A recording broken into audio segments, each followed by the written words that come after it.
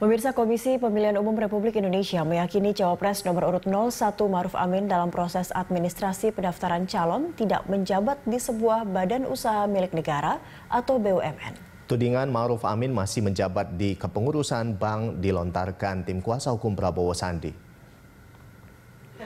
Komisioner KPU RI Hashim Asyari mengatakan sebagai penyelenggara pemilu yang melakukan proses administrasi masing-masing pasangan calon, Komisi Pemilihan Umum KPU RI mengaku KPU sudah teliti dalam melakukan klarifikasi saat pendaftaran calon termasuk status para pasangan calon dalam struktur BUMN.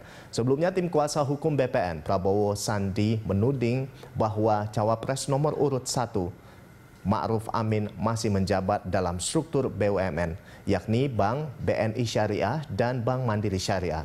Menurutnya sesuai regulasi, tak ada larangan bagi calon yang ikut kontestasi di Pilpres tetap bisa mencalonkan meski ia masih menjadi karyawan di dalam anak perusahaan BUMN. Sementara KPU sendiri sebagai pihak tergugat dalam sengketa Pilpres sampai saat ini belum menerima dokumen dari MK terkait adanya perbaikan permohonan gugatan Pilpres 2019.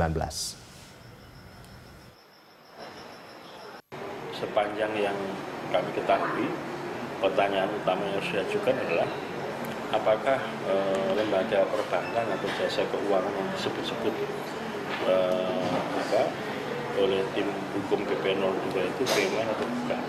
Itu yang paling penting. BUMN atau bukan. Karena di undang-undang jelas yang dilarang e, menyalonkan diri atau kemudian dipersyaratkan kalau nyalon itu harus eh, mengundurkan diri.